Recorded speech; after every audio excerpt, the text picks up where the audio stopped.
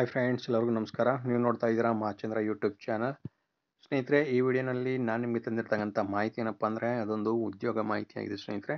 ಸಿಬ್ಬಂದಿ ನೇಮಕಾತಿ ಆಯೋಗದಿಂದ ಅಂದರೆ ಎಸ್ ಎಸ್ ಸಿಯಿಂದ ನಿಮಗೆ ಒಂದು ನೇಮಕಾತಿಯ ಅಧಿಸೂಚನೆಯನ್ನು ಹೊರಡಿಸಿರ್ತಕ್ಕಂಥದ್ದು. ಸೊ ನೋಡಿ, ಕೇಂದ್ರೀಯ ಸದನ ಕೋರ್ಮಂಗಲ ಡಿವಿಷನ್ ಅದು ಬೆಂಗಳೂರು. ಅದರಲ್ಲಿ ನೋಡಿ, ದೆಹಲಿ ಪೊಲೀಸ್ ಮತ್ತು ಕೇಂದ್ರ ಸಶಸ್ತ್ರ police ಪಡೆಗಳಲ್ಲಿ S sub inspector S I ನೇಮಕಾತಿಗಾಗಿ ಈಗ ಅಧಿಸೂಚನೆಯನ್ನು ಹೊರಡಿಸಿರ್ತಕ್ಕಂಥದ್ದು. ಇದ್ರ ಬಗ್ಗೆ ನಾನು ಕಂಪ್ಲೀಟ್ ಡೀಟೇಲ್ಸ್ ನಿಮಗೆ ಈ ವಿಡಿಯೋನಲ್ಲಿ ಕೊಡ್ತಾ ಇದ್ದೀನಿ.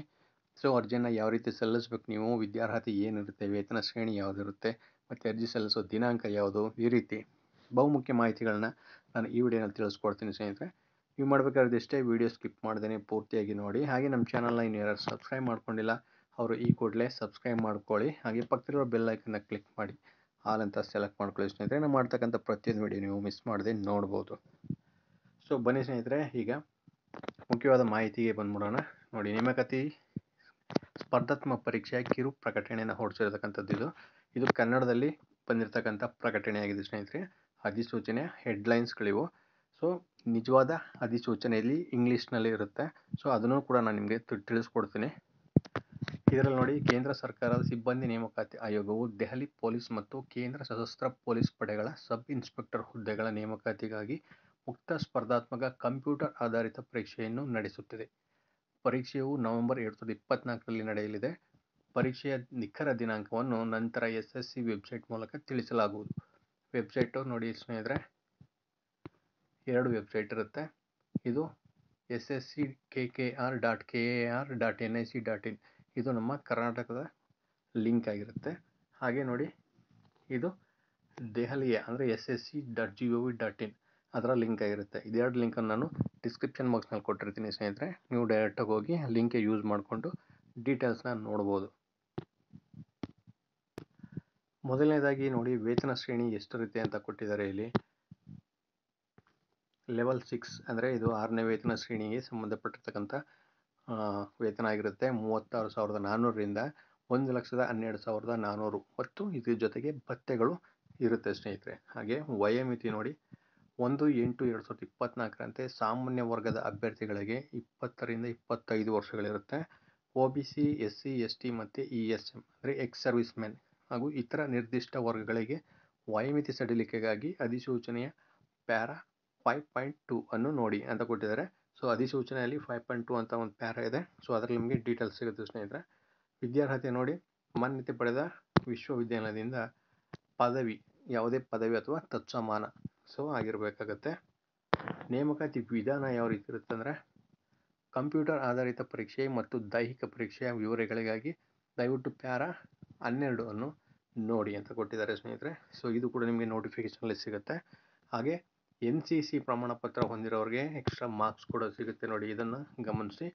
ಅದರಲ್ಲಿ ಸಿ ಪ್ರಮಾಣ ಪತ್ರಕ್ಕೆ ಹತ್ತು ಅಂಕಗಳು, ಅದರಲ್ಲಿ ಗರಿಷ್ಠ ಅಂಕಗಳು ಶೇಕಡ ಐದು ಇರುತ್ತೆ, ಐದು ಪರ್ಸೆಂಟು ಬಿ ಪ್ರಮಾಣ ಪತ್ರಕ್ಕೆ ಆರು ಅಂಕಗಳು ಗರಿಷ್ಠವಾದಲ್ಲಿ ಮೂರು ಪರ್ಸೆಂಟ್ ಇರುತ್ತೆ. ಎ ಪ್ರಮಾಣ ಪತ್ರಕ್ಕೆ ನಾಲ್ಕು ಅಂಕಗಳು, ಅದರಲ್ಲಿ ಗರಿಷ್ಠ ಅಂಕಗಳ ಶೇಕಡ ಎರಡು ಪರ್ಸೆಂಟ್ವರೆಗೆ ಮಾರ್ಕ್ಸ್ ಸಿಗುತ್ತೆ ಸ್ನೇಹಿತರೆ. ಹಾಗೆ ಹುದ್ದೆಗಳ ಸಂಖ್ಯೆ ನೋಡಿ ಸ್ನೇಹಿತರೆ, ನಿಮಗೆ ಕಾಲ್ಫರ್ ಆಗಿರ್ತಕ್ಕಂಥದ್ದು. ದೆಹಲಿ ಪೊಲೀಸ್ನಲ್ಲಿ ಸಬ್ ಇನ್ಸ್ಪೆಕ್ಟರ್ ಹುದ್ದೆ ನೂರ ಎಂಬತ್ತಾರು ಪೋಸ್ಟ್ಗಳು, ಅದರಲ್ಲಿ ಪುರುಷರಿಗೆ ನೂರ ಇಪ್ಪತ್ತೈದು ಇರುತ್ತೆ, ಮತ್ತು ಸ್ತ್ರೀಯರಿಗೆ ಅರವತ್ತೊಂದು ಹುದ್ದೆಗಳಿರುತ್ತೆ. ಹಾಗೆ ಸಿ ಎ ಪಿ ಎಫ್ನಲ್ಲಿ ಸಬ್ ಇನ್ಸ್ಪೆಕ್ಟರ್ ಹುದ್ದೆಯಲ್ಲಿ ನಾಲ್ಕು ಸಾವಿರದ ಒಂದು ಪೋಸ್ಟ್ಗಳಿರುತ್ತೆ. ಅದರಲ್ಲಿ ಪುರುಷರಿಗೆ ಮೂರು ಸಾವಿರದ ಆರುನೂರ ತೊಂಬತ್ತ್ಮೂರು ಮತ್ತು ಸ್ತ್ರೀಯರಿಗೆ ಮುನ್ನೂರ ಎಂಟು ಪೋಸ್ಟ್ಗಳಿರುತ್ತೆ. ಸೊ, ಇಷ್ಟು ಹುದ್ದೆಗಳಿಗೆ ಈಗ ಅರ್ಜಿಯನ್ನು ಕರೆದಿರ್ತಕ್ಕಂಥದ್ದು.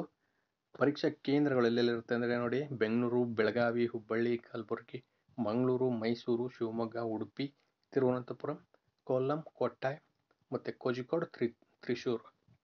ಇಷ್ಟು ನಿಮಗೆ ನಮ್ಮ ಆಲ್ ಓವರ್ ಇಂಡಿಯಾದಲ್ಲಿ ಪರೀಕ್ಷಾ ಕೇಂದ್ರಗಳಿರುತ್ತೆ. ಪರೀಕ್ಷೆಯ ಆನ್ಲೈನ್ ಅರ್ಜಿ ಅರ್ಜಿ ಸಲ್ಲಿಸೋದಕ್ಕೆ ನೋಡಿ ನಿಮಗೆ ಕೊಟ್ಟಿರ್ತಕ್ಕಂಥ ಲಿಂಕು ಇದು. ಇದರಲ್ಲಿ ಹೋಗಿ ನೀವು ಎಸ್ ಎಸ್ ಸಿ ನೇಮಕಾತಿ ಪ್ರಕಟಣೆ ದಿನಾಂಕ ನಾಲ್ಕು ಮೂರು ಎರಡು ಸಾವಿರದ ಇಪ್ಪತ್ನಾಲ್ಕು ಆಗಿರುತ್ತೆ. ಇಲ್ಲಿ ಹೋಗಿ ನೀವು ಅರ್ಜಿಯನ್ನು ಸಲ್ಲಿಸ್ಬೋದು ಹಾಗೆ ಶುಲ್ಕವನ್ನು ಕೊಟ್ಟಿದ್ದಾರೆ ನೋಡಿ, ಸಾಮಾನ್ಯ ಅಭ್ಯರ್ಥಿಗಳಿಗೆ ನೂರು ರೂಪಾಯಿ ಆಗಿರುತ್ತೆ. ಮಹಿಳೆಯರಿಗಾಗಲಿ, O B C, S C, S T ಮತ್ತು ಎಕ್ಸ್ ಸರ್ವಿಸ್ ಮ್ಯಾನ್ ವರ್ಗಗಳಿಗೆ ಯಾವುದೇ ಶುಲ್ಕ ಇರೋದಿಲ್ಲ ಸ್ನೇಹಿತರೆ. ಆನ್ಲೈನ್ ಅರ್ಜಿಗಳನ್ನು ಸ್ವೀಕರಿಸಲು ಕೊನೆಯ ದಿನಾಂಕ ನೋಡಿ ನಿಮಗೆ ಇಪ್ಪತ್ತೆಂಟು, ಮೂರು, ಎರಡು ಸಾವಿರದ ಇಪ್ಪತ್ತ್ನಾಲ್ಕು ಅದು ಇಪ್ಪತ್ತ್ಮೂರು ಗಂಟೆಗಳು ಅಂತಂದರೆ ಹನ್ನೊಂದು ಗಂಟೆವರೆಗೆ. ನಿಮಗೆ ಆನ್ಲೈನ್ ಅರ್ಜಿಗಳನ್ನು ಮಾತ್ರ ಸ್ವೀಕರಿಸಬೇಕು, ಸ್ವೀಕರಿಸಲಾಗುತ್ತೆ. ಅಲ್ಲಿ ತನಕ ನೀವು ಅರ್ಜಿಯನ್ನು ಸಲ್ಲಿಸ್ಬೋದು ಸ್ನೇಹಿತರೆ. ಅದು ಇಪ್ಪ, ಇದೇ ತಿಂಗಳ ಇಪ್ಪತ್ತೆಂಟಕ್ಕೆ ಕೊನೆಯ ದಿನಾಂಕ ಆಗಿರುತ್ತೆ. ಆನ್ಲೈನಲ್ಲಿ ಅರ್ಜಿಯನ್ನು ನೀವೇ ಕೂಡ ಸಲ್ಲಿಸ್ಬೋದು. ಅದು ಡೀಟೇಲ್ಸು ನೀವು ನೋಡಿ ಈ ವೆಬ್ಸೈಟ್ ಲಿಂಕ್ಗೆ ಹೋದರೆ ಅಲ್ಲಿ ಅನುಬಂಧ ಒಂದು, ಅನುಬಂಧ ಎರಡು ಅಂತ ಇರುತ್ತೆ. ಅದನ್ನು ನೋಡ್ಕೊಂಡು ನೀವು ಅರ್ಜಿನ ನೀವೇ ಸಲ್ಲಿಸ್ಬೋದು. ಇಲ್ಲಾಂತಂದರೆ ಯಾವುದೇ ಕಂಪ್ಯೂಟರ್ ಸೆಂಟರ್ಗೆ ಹೋಗಿ ನೀವು ಅರ್ಜಿನ ಸಲ್ಲಿಸ್ಬೋದು ಸ್ನೇಹಿತರೆ. ಇನ್ ಕೇಸ್ ಏನೇ ಡೌಟ್ ಇತ್ತು ಅಂದರೂ ನಿಮಗೆ ಕಾಂಟ್ಯಾಕ್ಟ್ಗೋಸ್ಕರ ನೋಡಿ ನಮ್ಮ ಬೆಂಗಳೂರು ಕೇಂದ್ರದ ನಂಬರ್ಗಳನ್ನು ಕೂಡ ಕೊಟ್ಟಿದ್ದಾರೆ. ಈ ನಂಬರ್ನ ನೀವು ಸಂಪರ್ಕಿಸ್ಬೋದು. ಅದು ಸೋಮವಾರದಿಂದ ಶುಕ್ರವಾರದವರೆಗೆ ಹತ್ತರಿಂದ ಬೆಳಗ್ಗೆ ಸಂಜೆ ಆರು, ಐದು ಗಂಟೆ ತನಕ ನೀವು ಇದನ್ನು ಸಂಪರ್ಕಿಸ್ಬೋದು ಸ್ನೇಹಿತರೆ.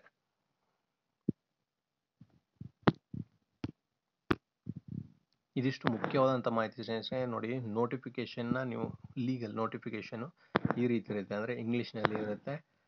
ಇದರಲ್ಲಿ ಪ್ರತಿಯೊಂದು ಡೀಟೇಲ್ಸು ನಿಮಗೆ ಇಂಗ್ಲೀಷ್ನಲ್ಲೇ ಕೊಟ್ಟಿರ್ತಾರೆ. ಸೊ ಇದನ್ನು ಕೂಡ ನೀವು ಡೀಟೇಲಾಗಿ ನೋಡ್ತೀನಿ ಅಂದರೆ ನೋಡ್ಬೋದು. ಯಾಕಂದರೆ ಅನುಬಂಧಗಳನ್ನ ನೀವು ಚೆಕ್ ಮಾಡ್ಕೋಬೋದು, ಪ್ಯಾರಾಗಳನ್ನ ಚೆಕ್ ಮಾಡ್ಕೋಬೋದು. ಸೊ ಇದರಲ್ಲಿ ನೀವು ನೋಡ್ಕೋಬೋದು ಸ್ನೇಹಿತರೆ. ಆ ಲಿಂಕ್ನಲ್ಲಿ ನಿಮಗೆ ಪ್ರತಿಯೊಂದು ಸಿಗುತ್ತೆ. ಹೋಗಿ ನೋಡ್ಬೋದು ಸ್ನೇಹಿತರೆ. ಸೊ ಲಿಂಕನ್ನು ನಾನು ಡಿಸ್ಕ್ರಿಪ್ಷನ್ ಬಾಕ್ಸ್ನಲ್ಲಿ ಕೊಟ್ಟಿರ್ತೀನಿ.